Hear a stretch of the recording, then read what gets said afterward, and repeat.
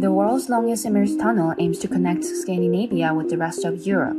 The Fehmarn Belt fixed link will cut down the current rail trip between Hamburg and Copenhagen from four and a half hours to two and a half hours. The EU granted over 1.1 billion euros towards its construction. The mega project is set to cost over 7 billion euros in total. It's part of the Scandinavia Mediterranean corridor, which runs all the way from the Finnish Russian border to Valletta in Malta. The EU hopes these new links will contribute strongly to European cohesion and strengthen the internal market. The 18 kilometer tunnel will connect Rødby in Denmark to Puttgarden on the German island of Fehmarn.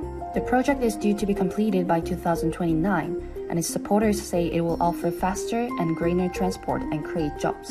However, it's been repeatedly delayed amid objections from local ferry companies and environmental campaigners. Conservationists believe this area in the Baltic Sea is particularly important to preserve. You have a 20 kilometer long tunnel project. It has an immense uh, impact on the environment. You have reefs, you have sand dunes, what you actually destroy.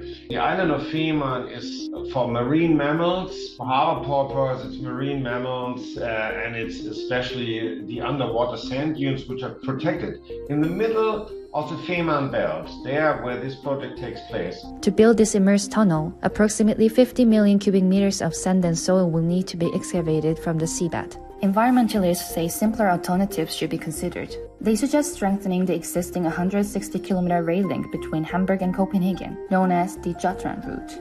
But supporters of the new tunnel say it creates a clear shortcut that will save energy and slash CO2 emissions from traffic. Femern AS, the Danish company building it, says the impacts of the construction are only temporary. Its CEO said in an email, We take our environmental responsibilities very seriously.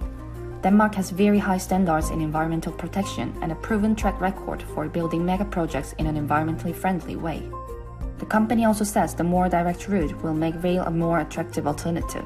However, critics note that the tunnel will feature four lanes for cars and trucks. They say the project, which Germany and Denmark agreed on back in 2008, should be reconsidered with sustainability in mind.